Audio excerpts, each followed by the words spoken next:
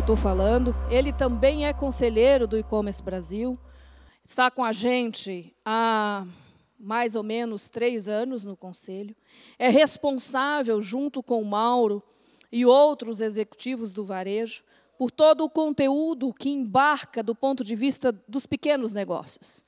Ao longo desses anos, além de conselheiro, foi se permitindo novos desafios e um deles foi se transformar, além de palestrante, num apresentador. Então, ele passou a apresentar, junto com outros parceiros, mas é o líder dessa curadoria, os auditórios no fórum, os auditórios nos eventos regionais onde nós fazemos. E, por um acaso, ele escreveu um dos artigos mais polêmicos, polêmicos no sentido de estimular conversas, reflexões profundas que foi quando ele disse que o, um, o mediador, me fugiu a palavra, desculpa, estaria morto, o intermediador no varejo. E muitos, teve vídeo, inclusive aqui no próprio YouTube, para responder a isso. E ele sempre traz um olhar onde ele fala, e essa é uma fase importante, que é não construa a sua casa em terreno alugado. Este é um provérbio árabe que nos chama, nesse momento, a uma reflexão de que varejo nós teremos daqui um mês, que varejo nós teremos e que terreno é esse, onde todos nós estamos juntos, o que, que a gente faz nesse negócio que agora está deserto? Ele tem três lojas no bairro do Brás, é um bairro, para quem está acompanhando do Brasil, extremamente tradicional, de revenda B2B, B2C, de todas as categorias de moda. Jean, seja bem-vindo, querido. Boa tarde, Jean. Que coisa boa. Oi, Vivi. Tudo bem? Tudo jóia. E você? Jean, obrigado por ter aceito o convite. Eu confesso que eu queria conversar com você um pouco mais calma, não tão ao vivo assim. É, a gente se falou na sexta-feira, quando você me disse que o Brás iria fechar as lojas. Né? E tu está vivendo essa coisa na pele. Escreveu falando da morte do revendedor, né, há um ano. Sempre prega quando se pensa do ponto de vista do marketplace, de estratégias onde você não se preocupa com o cliente, para não construir as coisas em terreno alugado. Agora você pode falar na primeira pessoa o que, que você está vivendo, o que, que você está aprendendo e o que, que você está entendendo deste momento em termos de oportunidade. A palavra está com Vivi, você. Prazer estar aqui, mesmo que nessa correria aqui para entrar, né? E na realidade o nosso é, nosso pensamento, nossa força está nessa união até de mercado, porque nesse momento tem sido muito importante essa troca de informação com empresários, com colaboradores de todo o nosso setor, né?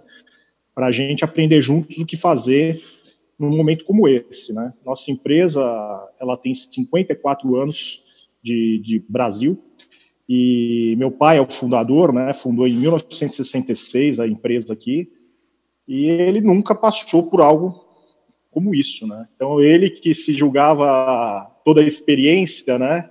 É, nunca passou por algo parecido com isso, porque em todas as situações que nós passamos no Brasil, nunca houve realmente um período de quarentena onde, onde houvesse a necessidade de fechar os negócios. Então, é chocante você andar pelas ruas do Brás, né, sempre lotadas de gente de todo o Brasil e as ruas desertas com todas as lojas fechadas. Então, a gente está aprendendo na pele mesmo, é, e quando você fala justamente né, de não construir sua casa em terreno alugado, talvez esse tenha sido agora para nós uma ótima uh, uma ótima providência que nós tomamos no passado, porque hoje a loja virtual está nos fazendo respirar. É a nossa forma de manter o fluxo de caixa ativo a gente está conseguindo, com uma equipe bem reduzida, uh, trabalhar e dar a esperança de que realmente a gente possa passar por isso, mesmo feridos, mas vivos e ultrapassar. Eu acho que o fato de a gente ter a nossa loja virtual própria nesse momento e não depender de terceiros, que é o que mais está sendo relevante para nós nesse momento. Perfeito, Jean.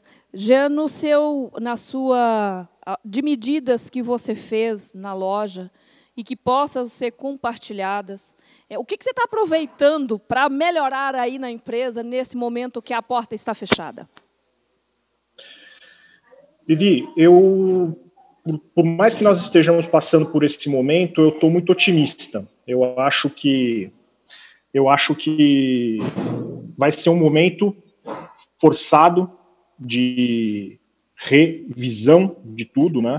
Verdade. Onde, na realidade, eu, eu tenho usado esse termo, a gente está separando os homens e as mulheres dos meninos e das meninas, né? A gente está vendo na equipe a força de quem está engajado, de quem sabe que é o momento. A gente está vendo agora nos fornecedores quem é parceiro, quem não é.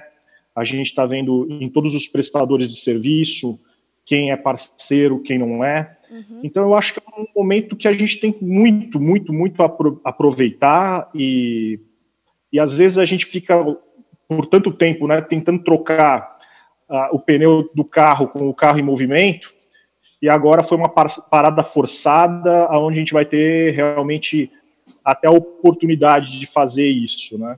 É verdade, Jean. Pode falar, Jean, desculpa. Então, não, e nesse momento, então, obviamente, né, tem focando sempre na, no que dá para tirar de positivo numa situação como essa. E agora a gente fez praticamente tudo que foi comentado, né, de chamar os colaboradores, colocar em férias.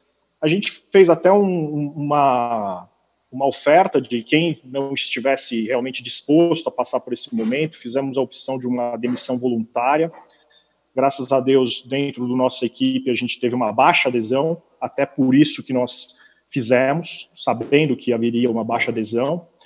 E é bom também que saíram pessoas que não estariam dispostas a enfrentar esse momento, né, junto com a empresa. Sim.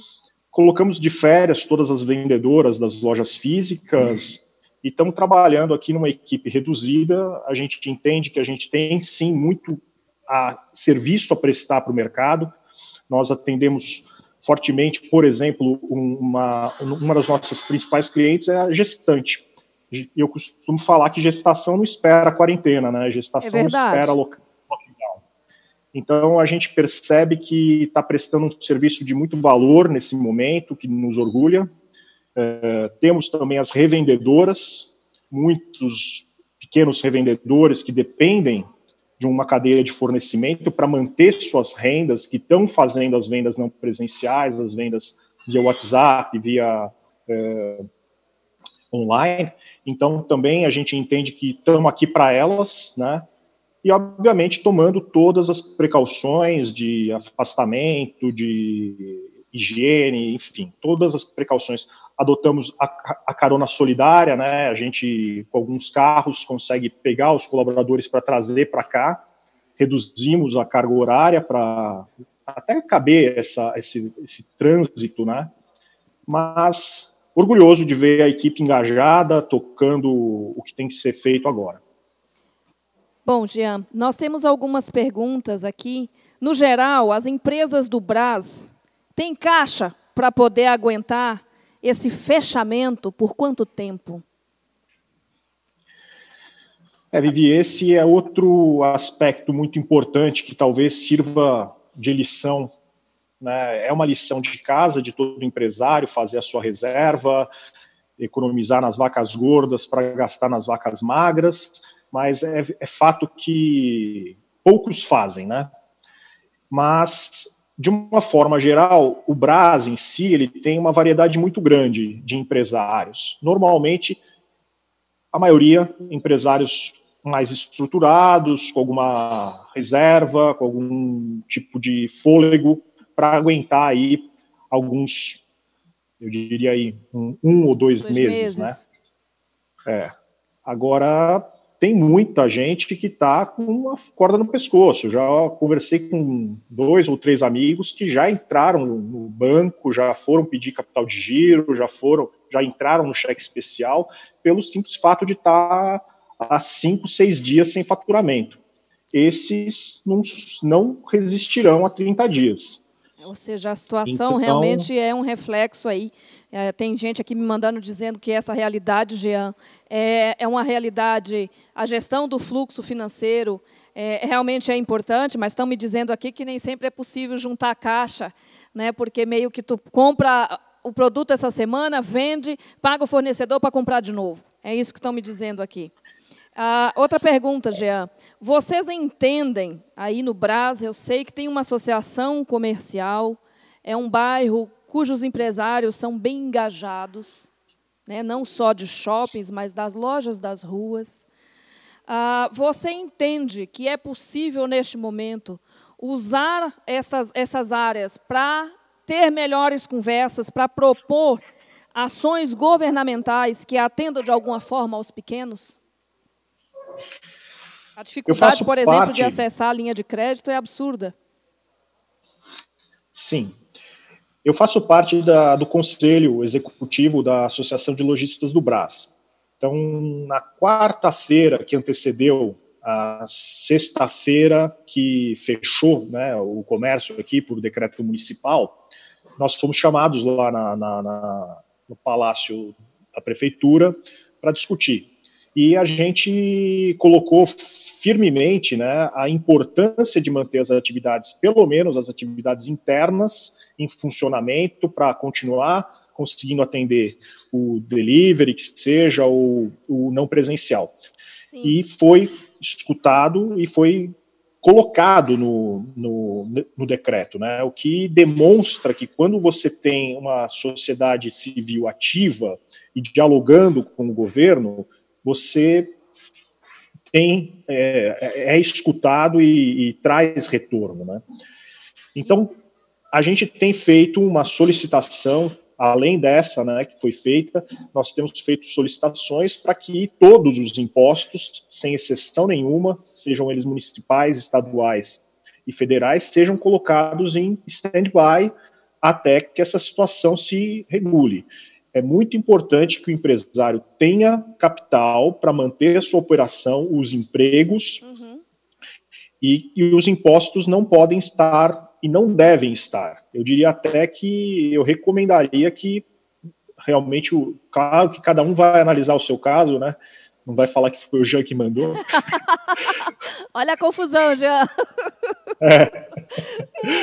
Mas eu, eu, diria que o empresário tem que colocar o imposto como uma dos, das coisas, últimas coisas a ser regularizada. Mantenha o seu, o seu caixa, mantenha o seu capital de giro para conseguir manter os empregos, os fornecedores de menor porte, os mais vulneráveis, negocie com os, os fornecedores mais maiores uhum. e seja sensível com os fornecedores menos vulneráveis, Bacana. mais vulneráveis. Jean, você, de certa forma, ao longo desses anos, não só aqui como conselheiro do e-commerce Brasil, mas antes, você já era e tinha uma proposta e uma atuação aí no Brás, não só de profissionalizar a gestão das lojas, né, no incentivo de aprender, estudar, ter acesso à capacitação.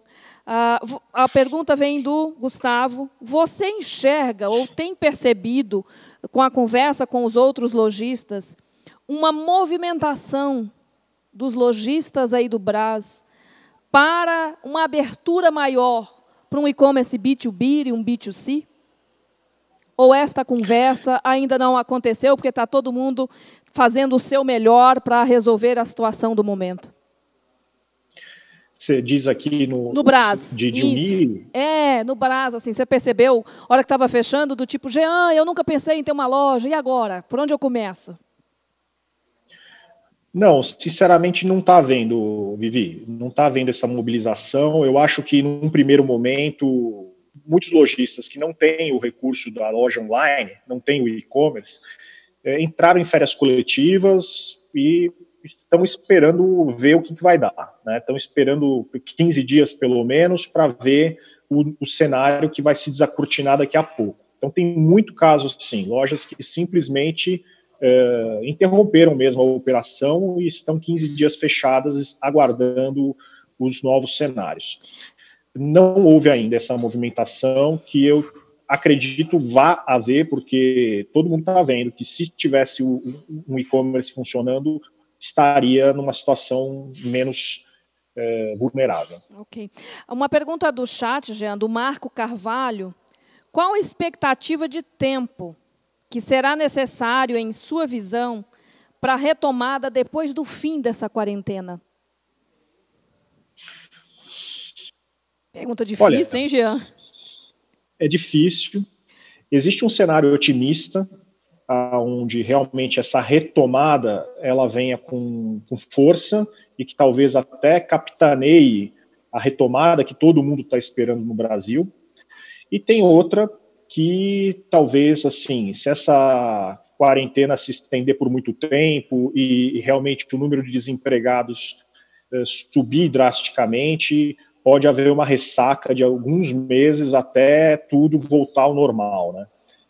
É difícil de responder, obviamente, né? Sim, Eu estou acreditando que está havendo já uma sensibilização no sentido de que é preciso daqui uma, duas, ou no máximo três semanas retomar parcialmente as atividades econômicas, não dá uma, um, não permanecer com um lockdown indefinido, porque o lockdown indefinido ele pode, pode prejudicar muito esses planos de, de retomada. De retomada. É, sim. Ah, Eu, particularmente, tenho, tenho visto dessa maneira também. Muito obrigada, Jean. Pergunta da Viviane Elídia Gomes, do chat. Qual instrução você poderia nos dar, Jean? Nós somos fabricantes do ramo de móveis de beleza, vendemos em várias plataformas, porém, como não são itens críticos, não estamos vendendo, pois eles não estão trabalhando. Na sua visão, como que a gente pode se comunicar para se fazer presente na vida desses clientes? É, é um momento muito delicado, onde qualquer apelo de venda, ele vai ser mal interpretado pelo cliente. É um momento que não, não, cabe você entrar em contato com promoção, com tentativa de vender. Né? É um momento que é necessário você se mostrar à disposição do seu cliente no que ele pode, é, no que precise contar com você, é, nesse momento difícil. Então, nós aqui adotamos esse, esse caminho de entrar em contato com os clientes, sim, no sentido de se solidarizar com a situação, se colocar à disposição e oferecer, assim, o que dentro do que você está precisando, entre em contato conosco, que a gente vai buscar resolver é, da melhor forma, mesmo fora das condições normais, ou seja, se for para oferecer frete grátis, se for para oferecer prazos maiores, se for para oferecer prorrogação de pagamento, se for para oferecer troca facilitada, a gente está se colocando à disposição do cliente para a necessidade dele no momento. Bacana, Jean. É, é muito Desculpa. complicado é, os setores que não estão sendo privilegiados, obviamente, né? A gente é, tem essa, essa questão da gestante, né? E é uma a gestante ela ficou muito preocupada de, de não ter condição de fazer o seu, o seu enxoval, né? Então, agora, setores não essenciais estão, obviamente, sofrendo mais. Tudo Sim, que é parece ser o caso da perto, Viviane. Exatamente. Já mais uma pergunta. A loja online teve algum tipo de aumento de demanda ou também foi afetada pela crise? São duas perguntas, Jean.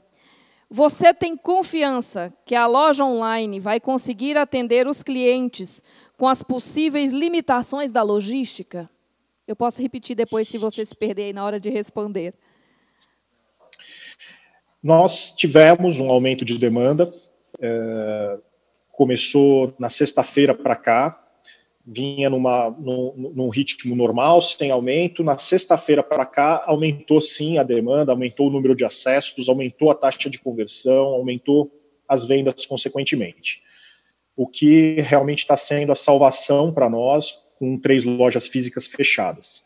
Verdade. É, com relação à logística, parte... Jean, percebeu alguma dificuldade, porque você vende também para fora da cidade de São Paulo, né, tanto B2C como B2B. É, você percebeu alguma dificuldade? Mudou alguma coisa com tudo? Assim, tem carga parada, alguma coisa? Não, sinceramente, os correios continuam fazendo as coletas, fazendo as entregas. houve uh, a, a, questão da, de Santa Catarina, mas mesmo assim não acabou afetando as entregas. No fim do, das contas, veio o decreto que impediu né, a interrupção dos serviços Sim. dos Correios, e aí continuou. Então, até aqui, não houve nenhum problema com questão de, de logística.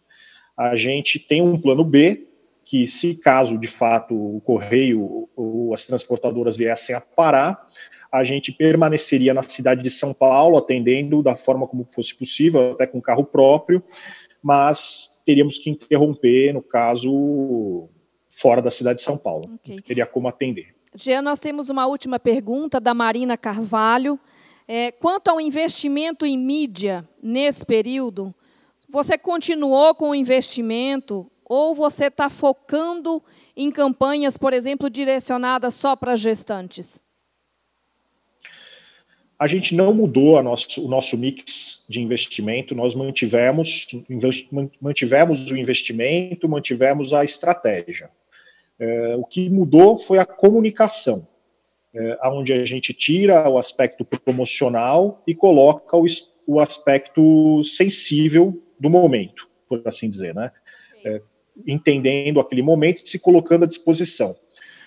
Então, quer dizer, manter uma gestante na quarentena em casa sem sair de casa é um baita serviço. Então, é esse o ponto que a gente começou a abordar. Mudamos a comunicação, mas não mexemos no, nem no investimento, nem na nem na calibragem das campanhas. Perfeito. A Luciana Gonçalves diz assim: Jean, tem algum conselho para lojas tradicionais de armarinho da 25 de março, aqui em São Paulo? Conselho é que, de alguma forma, o teu cliente precisa de você, vai precisar do teu produto, vai precisar então, quer dizer, você tem uma carteira de clientes, você tem aí o registro dos clientes que você atendeu nos últimos 12 meses, é de alguma forma se comunicar com ele, falando que você está fazendo esse atendimento via online ou via WhatsApp, que seja não presencial. É o momento de pegar realmente os caderninhos de clientes, os, é, os contatos e conversar com esses clientes, solidarizando, estamos juntos nesse momento, olha, o que você precisar, eu estou aqui, porque cedo ou tarde isso vai dizer que, que realmente, assim, sem a ferramenta e-commerce, é mais difícil. A gente está aqui fazendo todos esses contatos via CRM, tentando fazer os atendimentos não presenciais, é mais difícil. O e-commerce, ele, ele tá lá para isso, é a natureza dele, né, o atendimento não presencial. Mas pelo menos você não vai parar 100% pelas atividades. Bacana. Jean, muito obrigada por essa entrada ao vivo. Muito obrigada por nos ajudar a fazer de fato e a inspirar a, o e-commerce brasileiro de forma tão genuína. Muito obrigada mesmo. Boa tarde para você. Eu nem sabia que eu ia entrar no ar, né? Vim aqui com a camiseta do. Tô vendo aí. Tô vendo aí. Obrigada, Jean. Um abraço. Coincidência. Obrigado, Vivi.